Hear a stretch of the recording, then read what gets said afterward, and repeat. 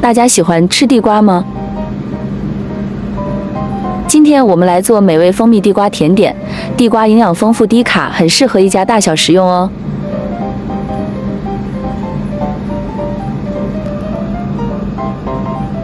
红薯富含抗氧化剂，如维生素 C、胡萝卜素和苯丙素，具有抗炎作用，可预防关节炎等炎症。紫色红薯中的抗氧化剂还能降低患癌症的风险。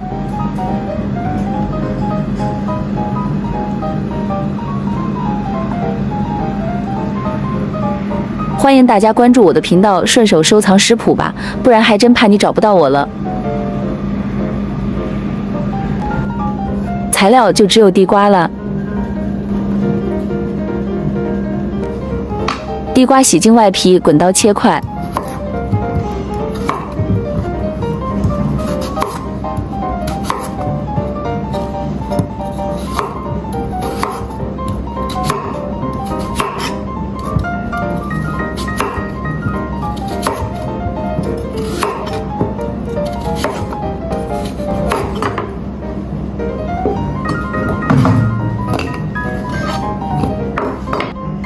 切好的地瓜倒入电饭锅内，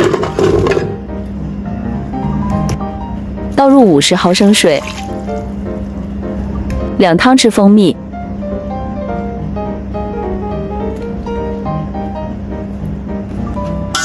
搅拌一下就可以开始按下煮饭键煮地瓜了。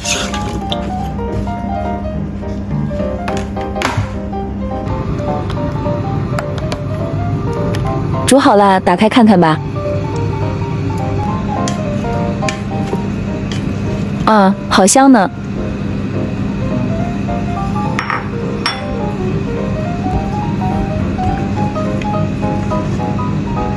地瓜看了就好有食欲啊，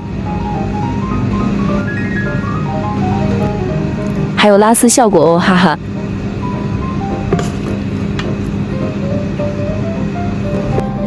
可以开吃了。地瓜很香甜可口，不喜欢吃甜的朋友可以自己调整蜂蜜的分量哦。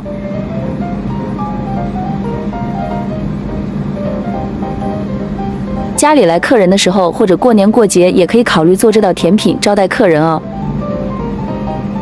红薯含糖量高吗？红薯是高营养、低糖。低钠、低饱和脂肪的碳水化合物的完美典范，这正是糖尿病专家建议的。每次用餐时，红薯占盘子的四分之一。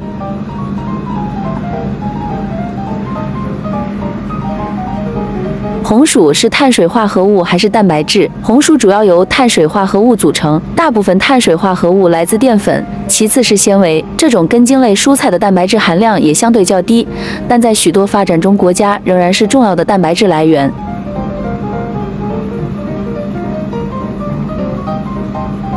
什么时候不能吃红薯？如何判断红薯是否变质？如果你的红薯有软斑、有腐烂的气味或渗出神秘液体，那么就应该丢弃。红薯变质的另一个迹象是，它们开始长出紫色的晶状芽。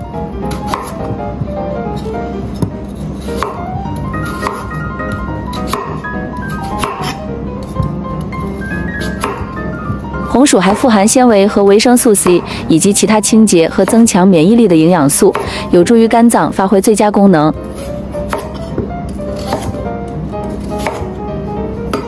红薯有助于减肥吗？当然，除了健康益处之外，红薯还是任何减肥饮食的绝佳补充。首先，红薯的纤维含量非常高，尤其是可溶性纤维。可溶性纤维非常好，因为它可以减缓你的消化速度，让你有饱腹感，从而抑制两餐之间吃零食的冲动。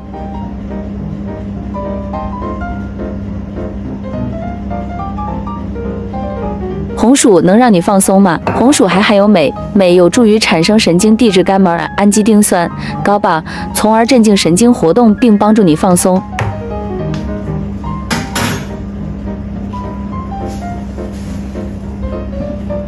红薯比香蕉好吗？在香蕉和红薯的营养之争中，红薯会胜出。烤红薯每克的热量与香蕉相同，但每份中等分量的红薯纤维含量多一克，糖分少五克。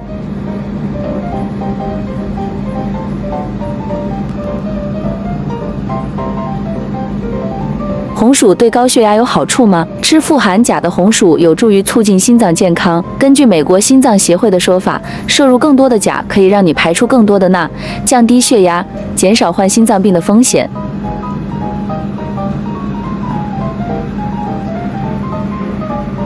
晚上吃红薯好吗？红薯富含促进睡眠的镁、钾、钙和 B 族维生素。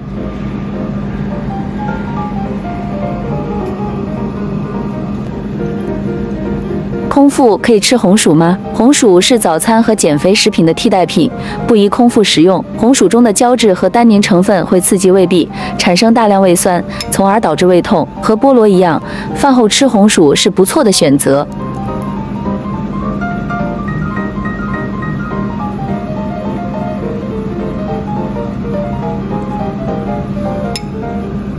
红薯有什么副作用、潜在副作用和预防措施？肾结石，红薯含有草酸盐，可促进肾结石的形成。血糖影响，虽然红薯的血糖指数低于普通土豆，但糖尿病患者仍应监测血糖水平。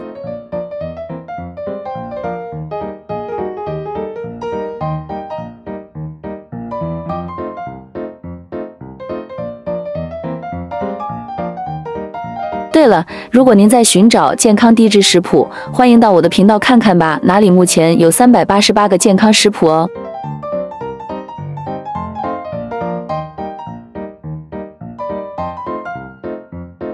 我的频道有三千多个食谱，一定有您喜欢的食谱哦。不懂要煮什么，就翻一翻看看，找灵感吧。我喜欢简单食谱，因为我相信美味的食物也一定要简单，可以快速完成。毕竟每天的事情已经这么多了，对吗？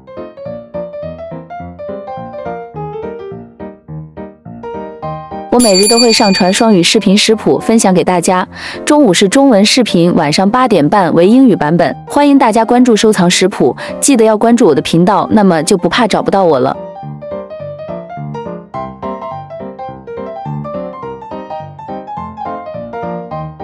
我每天都会分享美味食谱，不要错过了。谢谢观看，我们下一个视频不见不散了。